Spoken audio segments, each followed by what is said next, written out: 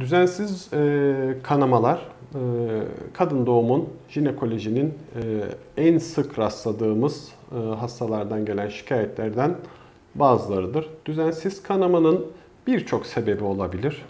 Yaşa göre değişir. E, hastanın kullandığı ilaçlara göre değişir. İçinde bulunduğu döneme gebelik veya gebelik öncesi, menopoz öncesi, menopoz sonrası, ergenlik dönemi de olmasına göre çok farklı sebepleri vardır. Değerlendirirken jinekolog olarak bunların hepsini göz önüne alırız. Ee, hikaye bizi oldukça yönlendirir. Olasılıkları elememizi sağlar. Jinekolojik muayene, vajinal muayene eğer mümkünse mutlaka yapılır. Ee, rahim ağzından mı geliyor, vajinadan mı geliyor, vulvadan mı geliyor, rahmin içinden mi geliyor bunlar ayırt edilir. İyi bir jinekolojik ultrason mutlaka yapılır. Ee, bir pap smear değerlendirmesi mutlaka yapılır. Eğer hekim uygun görürse kan tetkikleri ve işte hormon tetkiklerini yapar ve bir sonuca varır.